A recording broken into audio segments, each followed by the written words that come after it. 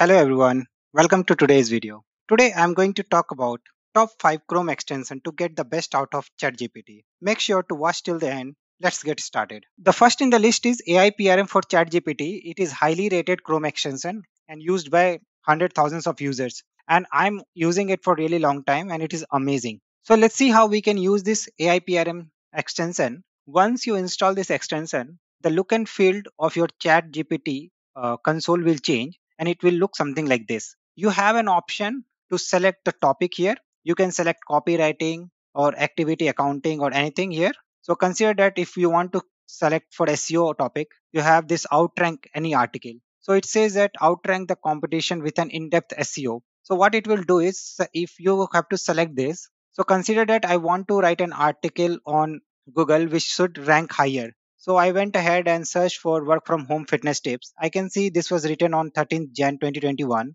and it is coming on the first page of Google. So if we want to outrank this right, so what we can do is we can just open this link, select this URL, go to ChatGPT, enter the competitor URL here and click submit. So you can see that it has started rewriting this article in his own word and this way you can copy paste this content and uh, publish your pages on uh, blogs or anywhere. So I'll just go ahead and stop generating this content, but you get the idea how you can use this. Second in the list is Web Chat GPT. What it does is it will connect Chat GPT to internet. So we all know that Chat GPT knowledge is limited till 2021. And if you ask anything recent, it will not be able to give you. So let's see. So as of now, you see that I have installed this extension and I've kept this search on the web is off. Let's go and ask what is Bard. So you can see that ChatGPT is not aware of this new Bard Google AI, we'll go ahead and on the search on the web option and we'll keep this as a five result as of now and keep it as a past month. Okay, let's ask the same question. Now you can see that it is able to pull the data from the internet and give us the answers. So this is how you can actually connect uh, and get the latest answers from the internet. Let's look at third extension that is ChatGPT for Google.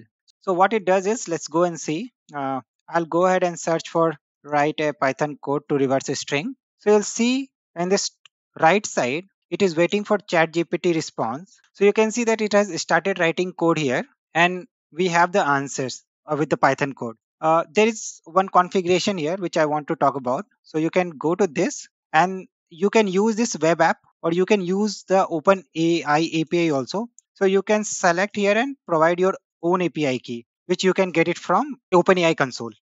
Let's look at fourth uh, extension that is YouTube summary with ChatGPT. Once you install this extension, whenever you play any YouTube video, you will see this transcript and summary option here where all the details in the video will be given. So what you can do is you can click on this. As soon as you click this, it will take this content to the chat GPT and it will start giving the summary of that.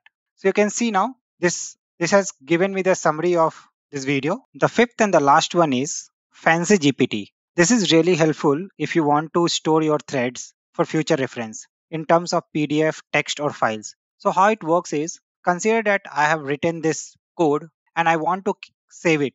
So what I can do is just go and click on this. It will open a window where my thread will be there. If you want to remove anything, you can remove this like exclude message. You have a option to save as image, save as PDF, save as text file, and as well as you have some options like dark, sketch option, and light. That's all for the day. If you like this video, please like and subscribe the channel and comment what you want to see the next.